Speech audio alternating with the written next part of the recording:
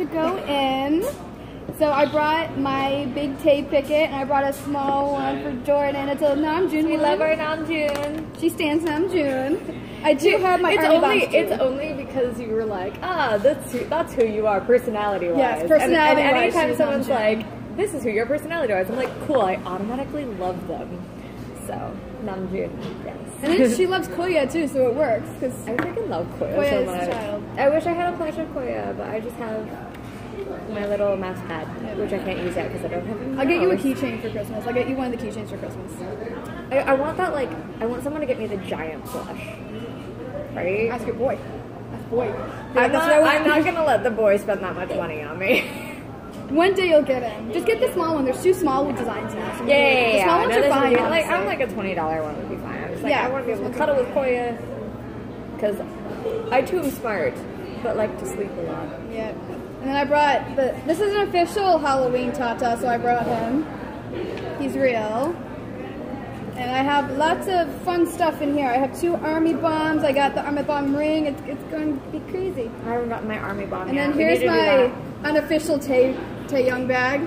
This is my design of him from the Bitmoji from Snapchat. Snapchat. And then I got this bag made at VidCon. VidCon. We like ran down to the Snapchat booth. Like when we figured out where it was, we like sprinted down there during our break. Because um, we were like locked away in the Instagram lounge during uh. So we were both brand ambassadors at VidCon, and we were working for uh, Facebook slash Instagram, same company. So we were kind of stuck in the VIP room, and we couldn't really leave. I I literally. I literally took one break a day. But that I was team lead. Yeah, so. she was a team lead, so it was a little bit harder. It But was a chaotic. anytime I had a chaotic break, I ran around like a mad woman trying to get all the stuff. We got could free. Nerf guns. We got free Nerf guns, and that was really nice. So I appreciate the love for that. But you're so lucky that we have enough stuff to represent. Honestly, I think VidCon was the introduction to BTS.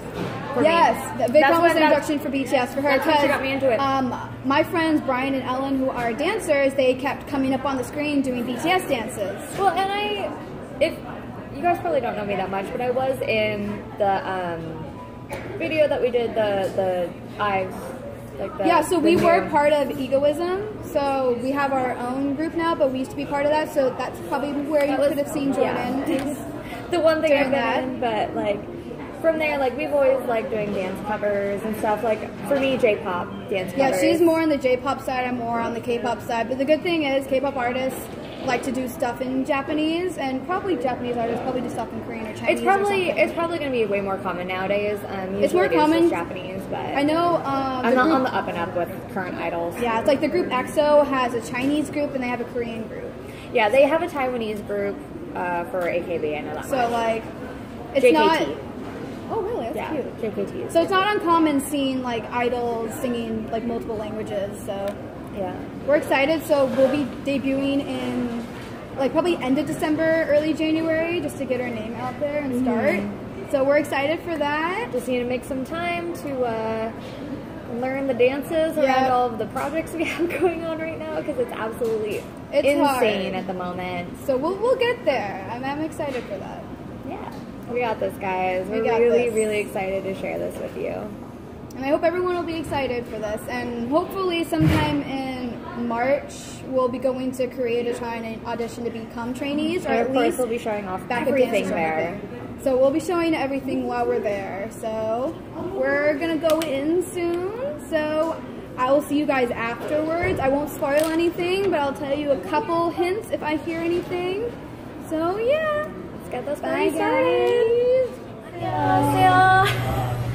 So uh, we just finished seeing Burn the Stage, the movie, and we decided just to come and get some boba and talk to you guys. We craved the sugar. We need sugar after that. It was a lot of emotions left my body throughout that entire film. We're not gonna really spoil it for the most part, but how did you like it? I love. It. It's her first time seeing anything Burn the Stage related. I loved it so much. Like I actually, I actually had to keep myself from crying, so I didn't ruin my makeup for the video that we filmed afterwards.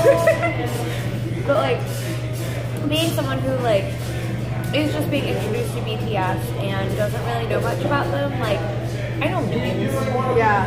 I know memes. Um, cause she and she shows me videos, but like I really don't know much about them, like personality wise. I don't even know all their names yet. Like, I kind of know them in my head, but I, I still like have issues like placing the names to the person. But just like getting to see the raw side of that tour was amazing. Just like as a performer, And it was last week, well, last year's tour as well. So it wasn't Yeah. as big as this current Love Yourself it tour. was like insane how big it was last year too. Like Yeah, it was oh still pretty big. It was their first, I think, dome experience in Tokyo. I think so, I yeah. think it was the first time for that. Yeah, it's just like uh, being a performer, like, and, and seeing what they go through. It's not like you're watching the yeah, actual concert. You're watching the behind the scenes the preparation and all that the hardships they go through, like the fact that All the injuries they, yeah, they have like their ups and their downs, and like it's amazing, like all of our fans and stuff, and they really, really push themselves like to amazing lengths just to like They make pushed all of us themselves very hard for wings. Like Oh my that's God, why we were all praying, at least for Love Yourself, for them to get more rest. Like I'm even happy that now, even though they're Japanese leg, they have like a week before the performances to like have a break. They need it, like they, Especially because in Japan it's a thousand times more intense than so much for Army and and being able to see that movie was like great and like I already respected them as artists, but like even seeing them like oh but they're on tour and they're like writing music while they're on tour. Yeah, they were writing.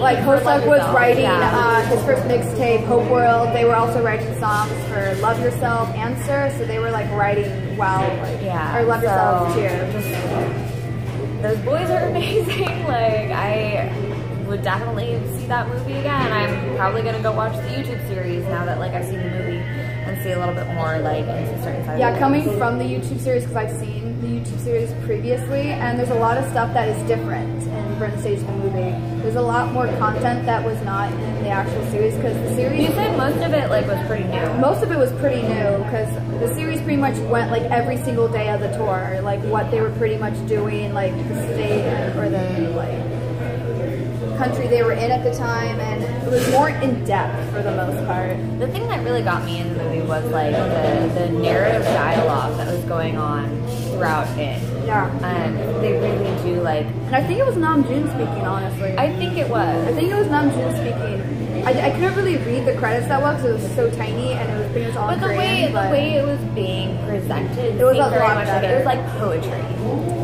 Um, it was like in the tour DVDs how they have the Yeah. different sections. They kind of had the same thing. They had different sections explaining different things. Yeah, so I thought that was really nice because it's just like obviously they grew a lot from that experience and like they're really trying to make it so that everyone can understand that and which I think they convey very well.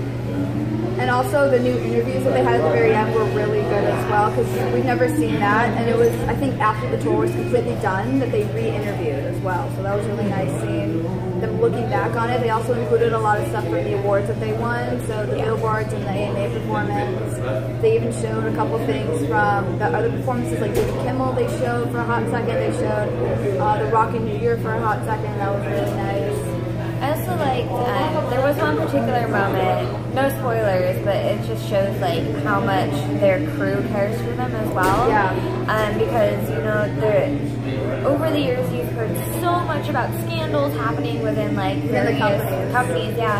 Um, I And being I would say I- I they only have BTS. That's their only group. Yeah, and they have like I a couple other artists. Japanese artists more so, and so like the scandals within like those artists, like those people aren't necessarily treated the best, and seeing like the care that Big Hit puts into like making sure that BTS takes care of themselves, that like they're okay, it makes me want to support them more because like obviously they are It's a company we want to support as well. Even for uh, the Love Yourself tour, like I camped out for all those days, so I was there every single concert tour day just camping. And every time they would leave and I would see Big Hit staff leave, I would say, come me down, Big Hit, Big Hit staff, thank you so much. They would all turn around and smile and be so happy that someone else is thinking of them instead of screaming for the boys. So, Yeah, like, we need to support the actual staff of Big Hit as well.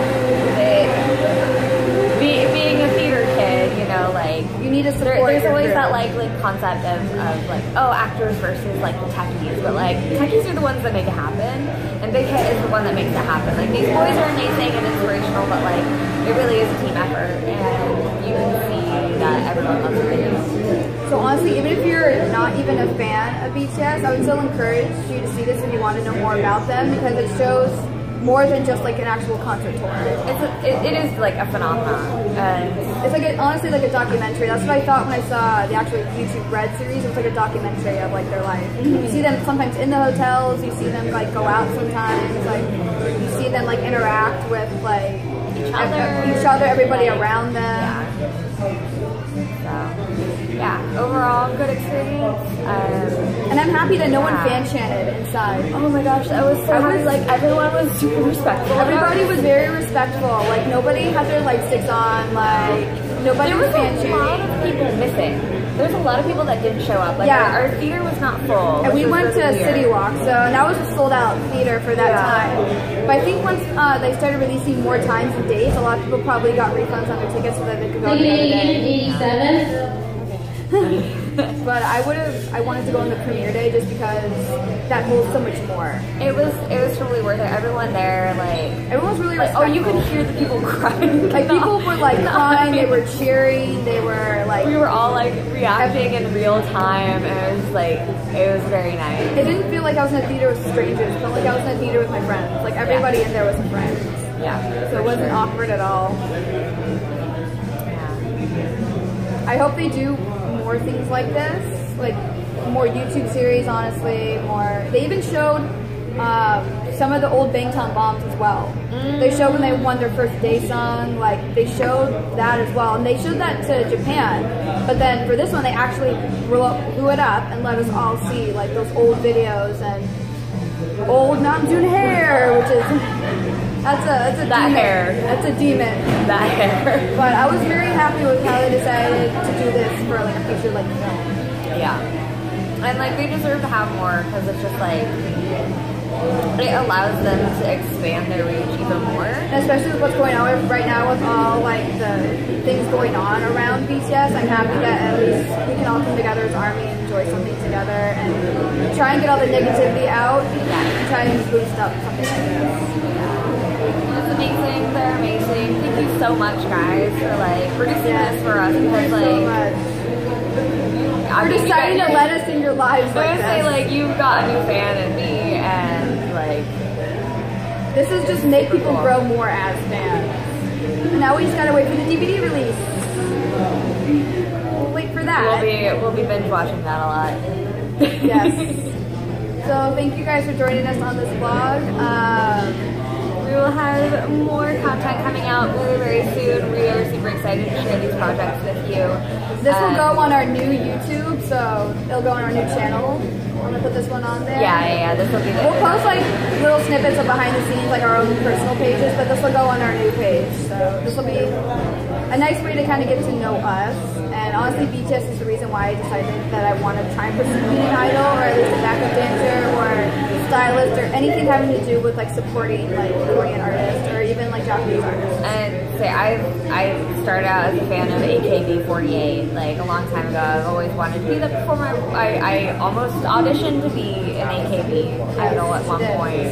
Um, I missed it by a day. I missed it by a day, unfortunately. But um, it's like it, it's so cool to like have a friend that um, Wants we to both do this. yeah we both can like have such passion for it that like we finally decided like hey just the two of us need to do this. We need to stop And like it's like I want to write my own music. I want to do my own clothes. I want to do everything that has to we're, come we're going all in on this, and uh, it's We dream, hope you'll support us. True. Yeah, Please support us like you support BTS and any other like group out there. Alright, So thank you for watching. guys. 감사합니다. Thank you. We'll see you soon. じゃあまたね。 You.